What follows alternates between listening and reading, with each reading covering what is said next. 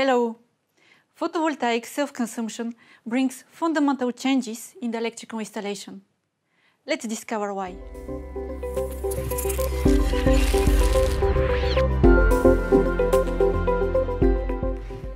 When you integrate photovoltaic energy production to your building rooftop, car park or facade, there are two main ways of using it.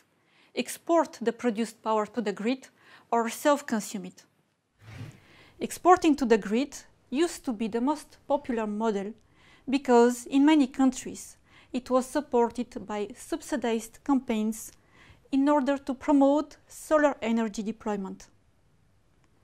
Today, this model is in decline because the guaranteed rates for exported photovoltaic energy have progressively decreased, becoming even lower than end-user electricity purchasing rates. Because of this trend, self-consumption, where buildings use their produced photovoltaic energy to cover their own needs, is on the rise.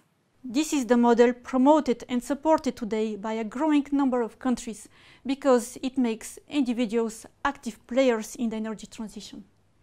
It also offers the greatest economic benefits and avoids energy transport losses. When solar production is entirely exported to the grid, the photovoltaic installation is directly connected to the electrical distribution network. The photovoltaic installation and the building electrical installation are two separate and independent electrical systems.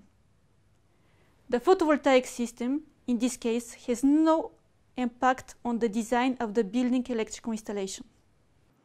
On the other hand, when solar production is used for self-consumption, the photovoltaic installation is an integral part of the building electrical installation, which brings some fundamental changes. First, the electrical installation is no longer supplied by a single source, but by two or more sources operating in parallel to the grid supply.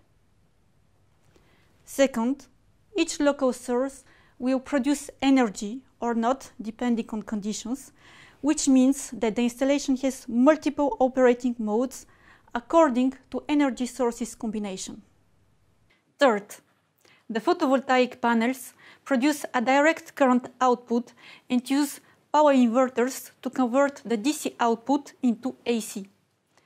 For this reason, photovoltaic sources have different characteristics and behavior compared to traditional sources, such as the grid supply or electricity generators.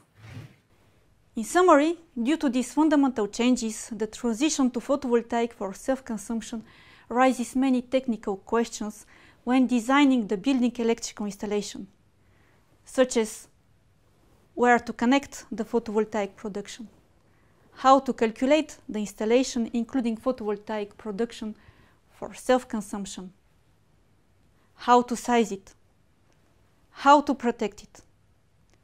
I will address all of these questions in the photovoltaic self-consumption video series. Thank you for watching and see you soon.